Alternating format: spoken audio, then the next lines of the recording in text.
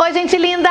Hoje mais um vídeo aqui pro canal. Hoje um vídeo sobre hidratação poderosa. Poderosa mesmo. Hoje a gente vai conversar sobre tratamentos capilares. Quem me acompanha no Instagram, no Snap, viu que final de semana eu fui pra casa da minha cunhada, né? Cunhada tá com uma piscina nova, né? A gente vem aprendendo, né, nas nossas gerações, né, desde a época da vovó, que a gente faz um montão de receitinha com aquilo que a gente às vezes tem em casa. É manteiga, é abacate, é ovo, enfim, né? A gente sempre inventa uma receita, né, que a vovó dizia que dava brilho, que hidratava, né? É, enfim, tem N propriedades, né, de vários produtos que realmente ajudam os cabelos, né? Ajudam a dar aquela renovada. E já faz um tempinho que as indústrias de beleza também já colocaram esses ingredientes em seus potinhos, né? Para ajudar a gente, facilitar aí as nossas receitinhas.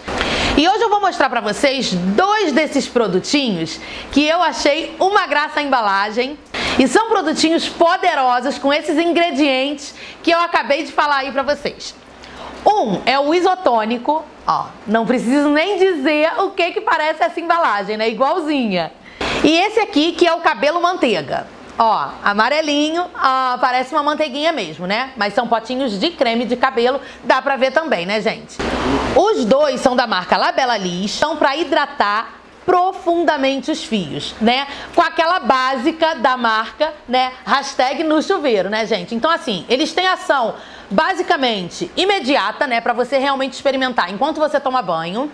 Esse aqui de manteiga é uma hidratação super profunda, né? Ele tem três manteigas, manteiga de manga, de cacau e de karité. Você vai usar depois do seu shampoo e cinco minutinhos somente no chuveiro, você vai deixar ele agir, né? Vai ser uma hidratação profunda, é cabelo manteiga, é o nome do creme. Ele tem um cheirinho super gostosinho, não é cheirinho de manteiga pura, justamente porque ele tem a combinação de outras manteigas, né? Que aqui no caso é a manteiga de manga e a manteiga de cacau. Então ele tem um cheirinho até adocicadinho. Uma delícia.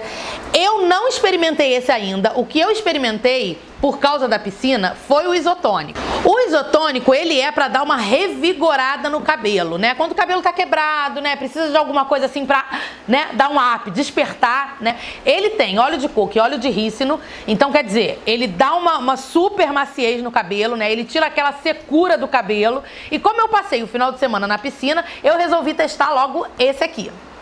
O que, que o isotônico promete? Ele promete uma nutrição intensa dos fios e promete uma hidratação, especialmente nos cabelos que estão fragilizados, né, que sofreram algum processo químico. Bem, o meu tá sempre com processo químico, né? Vocês já sabem. Então, assim, ele tá sempre precisando de uma nutrição especial e tal, né? Dar uma vitalidade nos fios, né? Uma revigorada.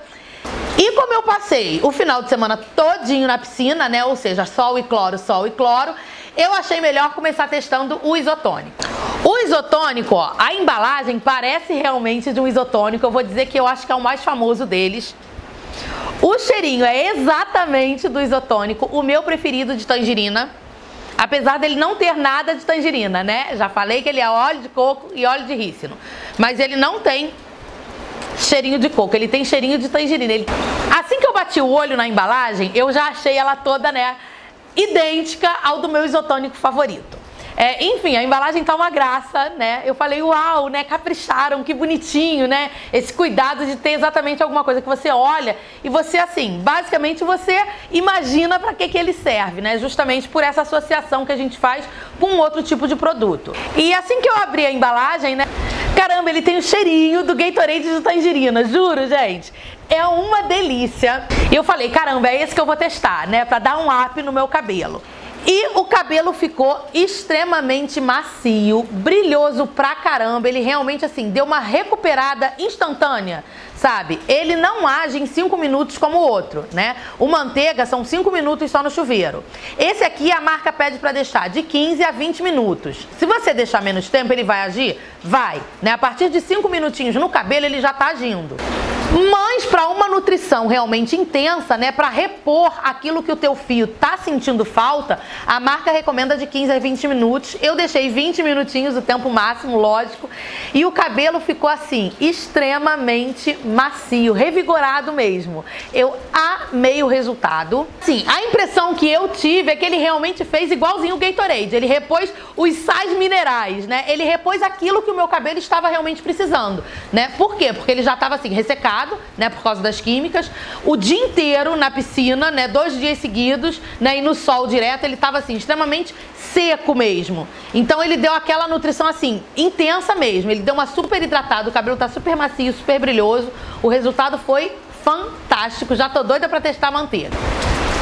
E agora eu vou falar uma outra coisinha para vocês, que assim, não tem nada a ver com a marca, tem a ver justamente com esse tipo de produto. Por quê?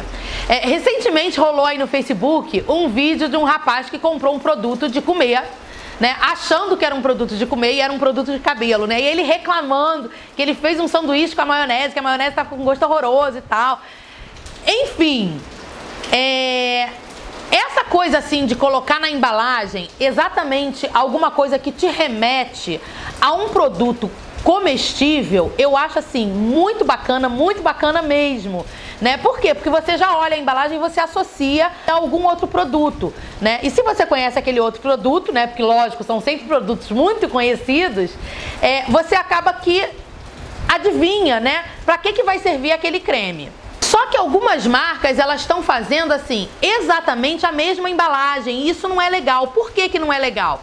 Porque a impressão que eu tenho é de que a marca só quer vender para o público de 15 até no máximo 30 anos. Por que, que eu estou dizendo isso? Porque olha só, é, eu sou uma senhora, né, de 41 anos. Então, assim, Vira e mexe eu passo no mercado correndo e pode acontecer, né, de eu me confundir na hora de pegar um creme? Pode, né? É mais fácil eu me confundir do que uma menina de 15 anos que só foi comprar o creme no mercado, né? Na hora de você fazer compras, é, você pode acabar olhando um produto e pela força do hábito, você pegar um produto achando que é um produto comestível, né? E acabar levando um produto de cabelo. Sabendo que a indústria de cosméticos está fazendo esse tipo de coisa, eu vou ter o cuidado de olhar e não, caramba, né? Tá igualzinho aquele pote, né? Sei lá, de qualquer coisa, né?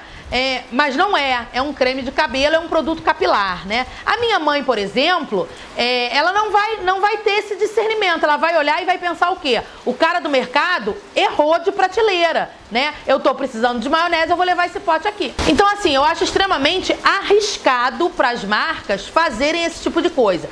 É bacana você colocar uma cor, né, e associar esse nome a algum produto que a gente já conheça, né, por uma receitinha caseira da vovó? É, né, cabelo manteiga, numa embalagem amarela, uau, né, você já vai pensar assim, nossa, o cabelo vai ficar como, né, uma manteiga, né? A mesma coisa o isotônico, que foi o que me veio na cabeça. Quando eu olhei a embalagem, né, e vi igualzinho ao Gatorade, eu falei assim, caramba, mas o pote é um pote de creme de cabelo, né? Nitidamente eu tô vendo que isso não é um Gatorade, né? Eu tô vendo que isso é um isotônico capilar, né? Então eu acho que assim, é, ao mesmo tempo que é muito bacana a marca associar é, remeter né, um creme, um produto de tratamento, alguma, algum ingrediente que a gente conhece, né?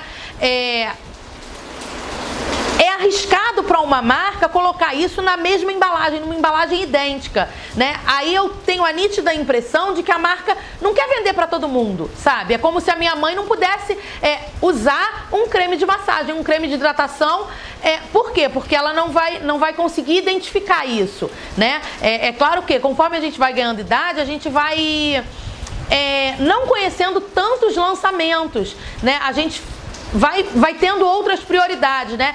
né? E cada vez mais parece que as marcas querem é, focar somente num público como se só aquele público lavasse o cabelo, como se só aquele público fizesse uma hidratação ou gostasse de uma hidratação poderosa como essas. Então assim, fica a dica até para as outras marcas. Fica o meu parabéns para a Labela Lisa, eu amei as embalagens, elas estão perfeitas justamente porque vocês souberam associar o produto a um outro produto, né, sem perder aquela coisa de creme de cabelo. Então, de parabéns, nota 10. Nota 10 o produto, eu amei meu isotônico, já tô doida para testar a manteiga para ver como é que vai ficar o resultado e aí eu vou mostrar aqui para vocês, ok? Eu espero que vocês tenham gostado do vídeo, deixa o seu joinha aí, se você tiver alguma dúvida sobre o produto, deixa aqui embaixo que vai ser um prazer responder. Inscreve aqui no canal para ficar por dentro de tudo, para acompanhar a próxima resenha, ok? Acompanha aí em todas as redes sociais e até o próximo vídeo. Um beijo, gente. Tchau.